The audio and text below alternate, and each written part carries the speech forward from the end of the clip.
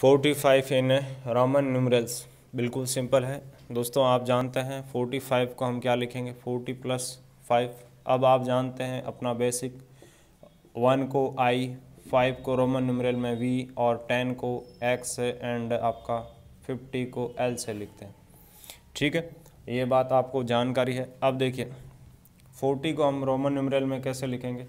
ये जो बेसिक है ना इनको या तो दो को आपस में जोड़ने से आपका कोई नंबर बनेगा या इनके सब्ट्रैक्शन से बनेगा, ठीक है? तो इसको ऐसे लिखेंगे फोर्टी को हम फिफ्टी माइनस टेन देखिए फोर्टी किसके नज़दीक है? फिफ्टी के नज़दीक है, ठीक है?